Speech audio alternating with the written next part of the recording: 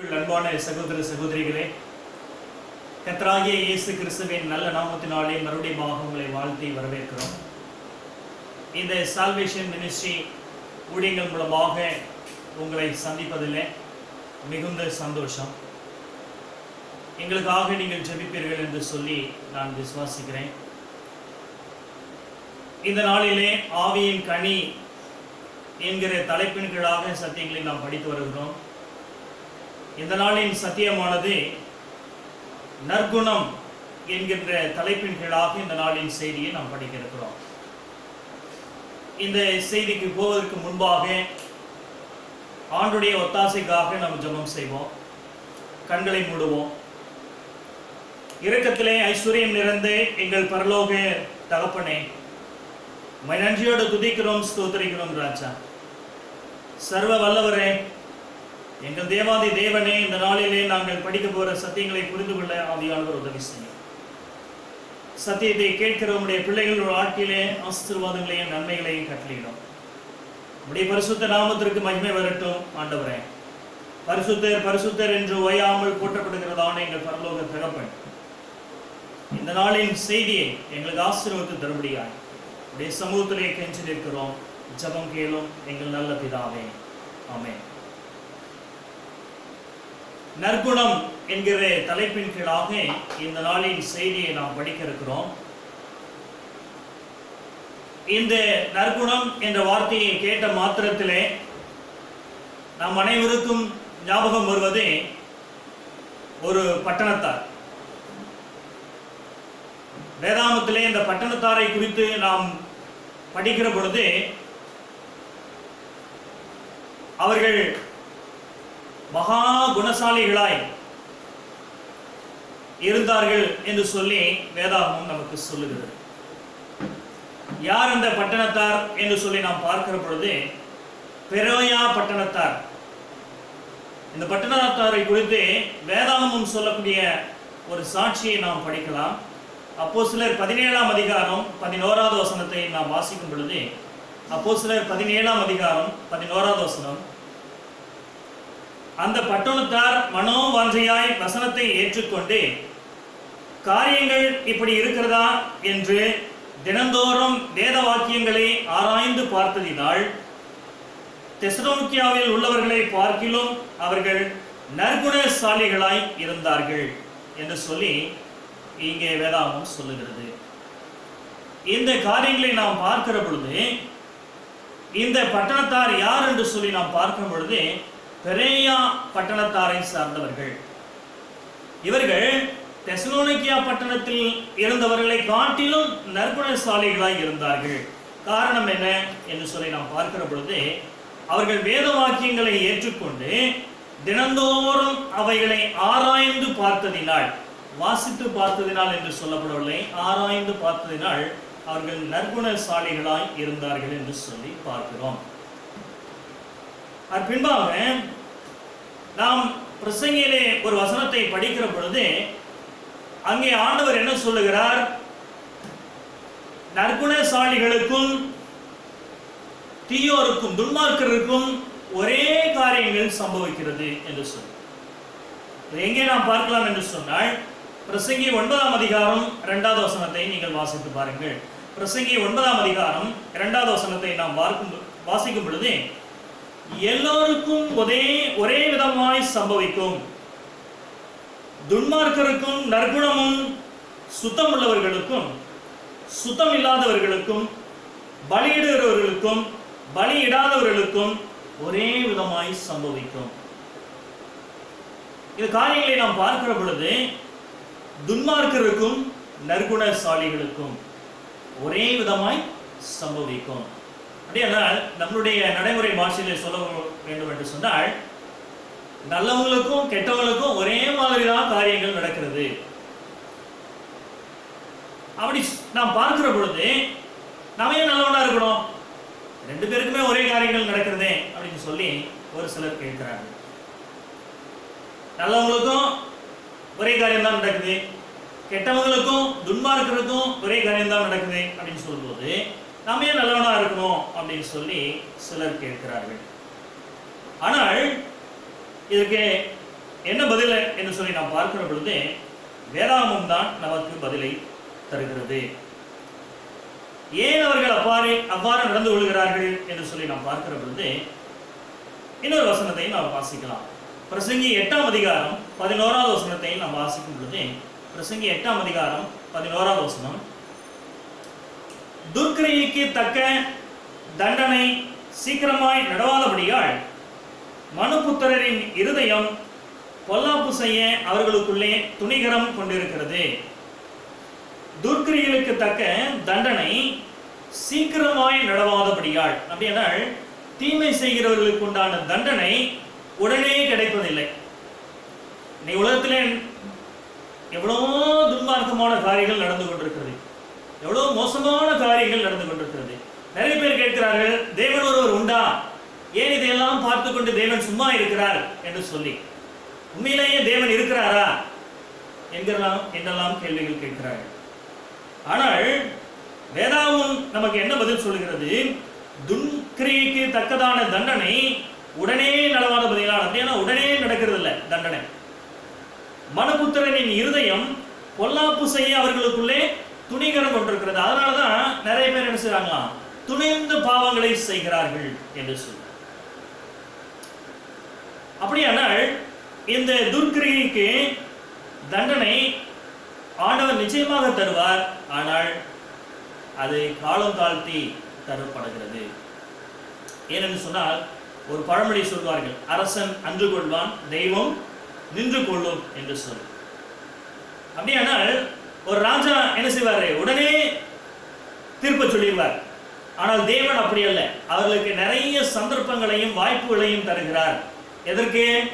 அவர்கள் மனம் திரும்ப வேண்டும். தங்களுடைய தவறுகளை உணர்ந்து அந்த தவறுக்காக வருந்தி மனம் திரும்பி மனம் மாற வேண்டும் என்பதற்காக தேவன் அநேக தருணங்களை தருகிறார். அதை தவறாக பயன்படுத்தி கொண்டு அநேகர் என்ன செய்கிறார்கள்? பொல்லாப்பு செய்ய துணிகரம் கொள்ளுகிறார்கள் என்று சொல்லி வேதாவும் சொல்லுகிறது. சரி இப்ப நம்மளுடைய கேள்விக்கு வருவோம். நல்லவர்களுக்கும் தீயவர்களுக்கும் ஒரே காரியம் தான் நடக்கிறது என்று சொன்னால் நான் ஏன் நல்லவனாக இருக்க வேண்டும் என்று நாம் கேட்கிற போது வேதாகமம் நமக்கு சொல்லுகிற பதில் என்ன என்று சொன்னால் பிரசங்கி எட்டாம் அதிகாரம் பன்னிரெண்டாவது வசனத்தை வாசித்து பாருங்கள். ஒரு பாவி நூறு தரம் பொல்லாப்பை செய்து நீடித்து வாழ்ந்தால் என்ன? தேவனுக்கு அஞ்சி அவருக்கு முன்பாக பயந்திருப்பவர்களே நன்றாயிருப்பார்கள். யார் நன்றாயிருப்பார்கள்? தேவனுக்கு பயந்து அவருக்கு அஞ்சி நடப்பவர்களே நன்றாயிருப்பார்கள் என்று சொல்லி வேதாகமம் சொல்லுகிறது. பொல்லாப்பு செய்கிறவர்கள் அவர்கள் நீடித்து வாழ்ந்தாலும் என்ன பிரயோஜனம்? கடைசியில அவர்களுக்கு நித்திய அழிவுதான். ஆனால் உண்மையாய் இருந்து நேர்மையாய் வாழ்ந்து ஆண்டவருக்காக வாழ்ந்து நீதியாய் வாழ்கிறவர்களுக்கு என்ன பலன்? முடிவிலே அவர்கள் நித்திய ஜீவனை பற்றிக் கொள்வார்கள். எனவே நாம் ஏன் துன்மார்க்கருக்கு இப்படியெல்லாம் காரியங்கள் நடக்கிறது என்று சொல்லி நாம் என்ன செய்ய வேண்டியதில்லை? வருத்தப்பட வேண்டிய அவசியம் இல்லை. நாம் நீதிமானாய் வாழும் பொழுது அதற்குண்டான பலனை நிச்சயமாக தேவன் தர இருக்கிறார் இந்த நற்குணம் என்கிற தலைப்பிற்கு வேதாமத்தில் ஒரு சகோதரியை நாம் பார்க்கலாம். நீங்கள் இந்த வசனங்களை வாசித்து பாருங்கள். ரூத்து மூன்றாம் அதிகாரம் பத்தாவது வசனம். பதினோராவது அஹ், மன்னிக்கவும் ரூத்து மூன்றாம் அதிகாரம் பத்தாவது வசனத்தையும் ரூத்து ஒன்றாம் அதிகாரம் பதினோரா பதினாறாவது வசனத்தையும் வாசித்து பாருங்கள். ரூத் ரூத் மூன்றாம் அதிகாரம் பத்தாவது வசனம். ரூத் ஒன்றாம் அதிகாரம் பதினாறாவது வசனத்தை வாசிக்கும் பொழுது அந்த ரூத்தை குறித்து அருமையான ஒரு சாட்சியை நாம் அங்கே பார்க்கலாம். அவர்களுக்கு நற்குணசாலி என்கிற அந்த சாட்சியை அங்கே கொடுக்கிறதை பார்க்கலாம். இந்த நற்குணம் என்று சொல்லி நாம் பார்க்கிற பொழுது இது எப்படி நமக்கு கிடைக்கிறது என்று சொல்லி நாம் பார்த்தோம் எபேசியர் ஐந்தாம் அதிகாரம் ஒன்பதாவது வசனத்தை நீங்கள் வாசித்து பாருங்கள். எபேசியர் ஐந்தாம் அதிகாரம் ஒன்பதாவது வசனம். ஆவியின் கனி சகல நற்குணத்திலும் நீதியிலும் உண்மையிலும் விளங்கும். சரி இப்போ நாம பார்த்துக்கிட்டு வர்றது என்னது? ஆவியின் கனி. அதிலே ஒரு கனி என்னது? நற்குணம். இந்த நற்குணம் இந்த ஆமையின் கனியாகிய இந்த கனி எப்படி விளங்குகிறது என்று சொன்னால் எப்படி வெளிப்படுகிறது என்று சொன்னால் நம்முடைய நற்குணத்திலும் நம்முடைய நீதியிலும் உண்மையிலும் விளங்கும் என்று சொல்லி வேதாந்தம் சொல்லுகிறது. சார் இப்ப கேள்வி என்ன அப்படின்னு சொன்னா எது நீதி எது உண்மை? ஏனென்று சொன்னால் ஆவியின் கடி எதிலே விளங்கும். நற்குணத்திலும் நீதியிலும் உண்மையிலும் விளங்கும். அப்படியானால் நீதி எது உண்மை எது? என்று சொல்லி நாம் பார்க்கிற பொழுது சங்கீதம் நூத்தி பத்தொன்பதாவது அதிகாரம் சங்கீதம் நூத்தி பத்தொன்பதாம் அதிகாரம் நூத்தி எழுபத்தி ரெண்டாவது வசனத்தை வாசித்து பாருங்கள். நூத்தி எழுபத்தி ரெண்டாவது வசனத்தை வாசிக்கும் பொழுது நம்முடைய கற்பனைகள் நீதியானவைகள் என்று சொல்லி சொல்லப்பட்டிருக்கிறது. அதற்கு பின்பாக உண்மை எது என்று சொல்லி நாம் பார்க்கிற பொழுது சங்கீதம் நூத்தி பத்தொன்பதாவது அதிகாரம் நூத்தி ஐம்பத்தி ஓராவது வசனத்தை வாசித்து பாருங்கள். சங்கீதம் நூத்தி பத்தொன்பதாம் அதிகாரம் நூத்தி ஐம்பத்தி ஓராவது வசனத்தை வாசிக்கும் பொழுது அவருடைய பிரமாணங்கள் அவருடைய கற்பனைகள் உண்மை உள்ளவைகள் என்று சொல்லி. அப்ப கேள்வி என்ன அப்படின்னா ஆவியின் கனி எப்படி வெளிப்படும்? எப்படி விளங்கும்? நற்குணத்திலும் நீதியிலும் உண்மையிலும். நீதி எது உண்மை எது அப்படின்னு சொன்னா அவருடைய கற்பனைகள். அவருடைய கற்பனையை கை போது ஆவியின் கனிகள் வெளிப்படும் என்று சொல்லி நாம் பார்க்கிறோம். கடைசியாக குணசாலியான சிறியை குறித்து நீதிமொழிகளிலே சொல்லப்பட்டிருக்கிறது. எங்கே என்று சொன்னால் நீதிமொழிகள் முப்பத்தி ஓராவது அதிகாரத்தை நாம் வாசிக்கும் பொழுது பத்திலிருந்து இருபத்தி ஒன்பது வசனங்களை நாம் வாசிக்கும் பொழுது நீதிமொழிகள் முப்பத்தி ஓராம் அதிகாரம் பத்திலிருந்து இருபத்தி ஒன்பது வசனங்களை நாம் வாசிக்கும் பொழுது ஒரு குணசாலியான ஸ்திரீ எப்படி இருக்க வேண்டும் என்று சொல்லி அங்க வசனங்கள் சொல்லப்படுகிறது. ஆண்டவர் கேட்கிறார் குணசாலியான ஸ்திரீயை கண்டுபிடிப்பவள் யார் என்று சொல்லி. அப்படி கண்டுபிடிக்கிறவர்கள் பாக்கியவான்கள் என்று சொல்லி வேதாகம் சொல்லுகிறது. எனவே நாம் ஆண்டுடைய சமூகத்திலே ஜபிக்கும் பொழுது ஆண்டவர் அந்த காரியங்களை நமக்கு என்ன செய்கிறார்? வாய்க்கப்படி தருகிறார். கடைசியாக நீதிமொழிகள் பனிரெண்டாம் அதிகாரம் நான்காவது வசனத்தை நாம் வாசிக்கும் பொழுது நீதிமொழிகள் பனிரெண்டாம் அதிகாரம் நான்காவது வசனத்தை நாம் வாசிக்கும் பொழுது குணசாலியான ஸ்திரீ தன் புருஷனுக்கு கிரீடமாய் இருக்கிறாள் என்று சொல்லி. எனவே நம்முடைய விண்ணப்பம் நம்முடைய பிள்ளைகள் குணசாலிகளாக இருக்கிறார்களா என்பதை நாம் என்ன செய்ய வேண்டும்? யோசித்து பாருங்கள். நம்முடைய ஜெபம் எல்லாம் நம்முடைய பிள்ளைகளை குறித்து நாம் ஜெபிக்கிற பொழுது நம்முடைய குடும்பங்களை குறித்து நாம் ஜெபிக்கிற பொழுது குணம் நற்குணம் முக்கியமான ஒரு காரியமாக இருக்கிறது. எனவே நீங்கள் எல்லா காரியங்களை காட்டிலும் இந்த நற்குணங்களுக்காக ஜெபிக்கும்படியாய் உங்களுடைய சமூகத்திலே அன்பாய் வேண்டிக் கொள்கிறேன். ஒரு தீர்க்கதரிசி அம்மையாரை குறித்து நான் வாசித்ததுண்டு.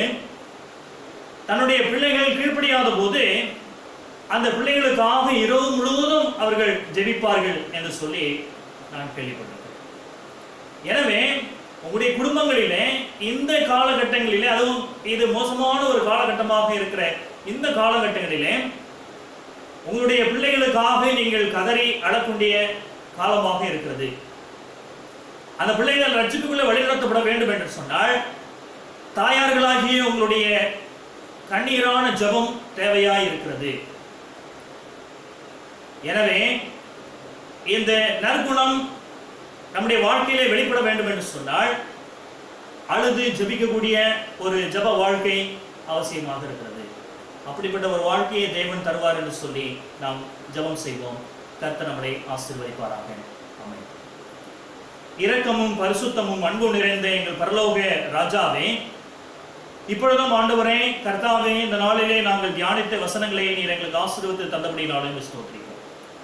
ஆண்டவரே இந்த நற்குணம் என்ன என்பதை குறித்து இந்த நாளிலே நாங்கள் படித்தோம் ஆவியானவர் இன்னும் இதை நாங்கள் அதிகதிகமாய் விளங்கிக் கொண்டு எங்கள் வாழ்க்கையிலே நாங்கள் அத்தியாசிக்க கர்த்தர் உதவி செய்யும்படியாய் இயேசுவன் வழியாக கேட்கிறேன் சமங்களும் நல்ல பிதாவே அமேன்